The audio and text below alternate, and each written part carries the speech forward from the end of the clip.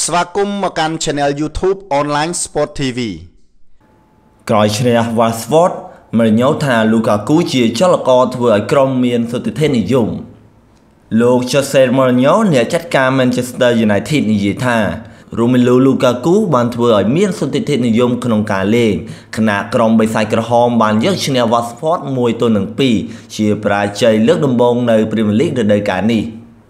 Man United បានសុទ្ធបាល់បញ្ចូលទី2គ្រាប់ក្នុងវគ្គទី1ដោយ Lukaku ទទួលបាល់ពី Ashley Young សុទ្ធបញ្ចូលទីមុនពេលកីឡាករ Chris Smalling ថែមបានមួយគ្រាប់ទៀតដោយការបញ្ជូនពី Marone Fellaini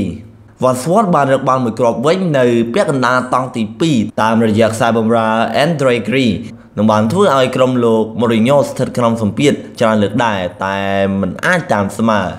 Nemanja Matic ត្រូវបានបណ្ដេញចេញបន្ទាប់ពីប៉ះគ្នាជាមួយ Will Haggett របស់ Westford ធ្វើឲ្យគេទទួលបានការលេងជាលើកទី